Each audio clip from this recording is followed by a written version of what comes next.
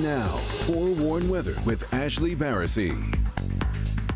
And our wild weather closer to home kind of takes us back to winter as opposed to looking ahead to severe weather season. So your bus stop forecast today, some scattered showers. Kids will definitely need the rain gear and added layers because it's going to be pretty chilly this afternoon. 47 degrees, damp and breezy by the time the kids are going to be dropped off from school. So we are trending about 15 to 20 degrees below average.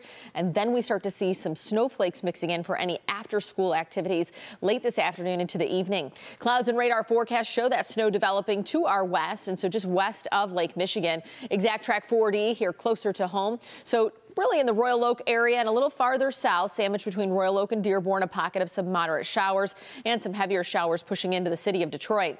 We did have some rain yesterday evening, but if you recall, it was paired with some sunshine too. And so we had some beautiful rainbows across the area. This double rainbow was sent in by Dee Malf on my picks. And so you can send in your weather shots too, especially if we have some snow coming down later today on clickondetroit.com and our 4Warn weather app. We love to show what's happening in your neighborhood in our forecast. So please send them in.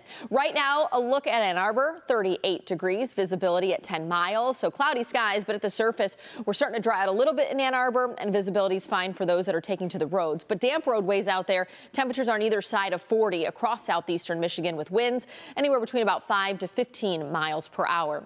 So your forecast today, not warming up a whole lot from where we're sitting right now. 44 degrees at the lunch hour, 47 for that afternoon high. Rain showers will be more in the scattered variety throughout the day. And then we're looking at widespread precipitation heading into the dinner hour. And a lot of that could be some wet snowflakes. So your clouds and radar forecast as I stop the clock at 10 a.m. A little bit of a mixture pushing into portions of southeastern Michigan. But for the most part, Washtenaw County, Monroe County just dealing with rain and it's scattered throughout, especially our southern counties into the afternoon. Now I'm stopping the clock at 6 p.m. because you see all this blue on here. That would indicate some wet snowflakes pushing into the area, becoming widespread still by about 8 o'clock. That's going to stick with us past sunset. And then by the time we hit 11, we start to see that break. Some data that I'm looking at would indicate this is more of a heavy rain.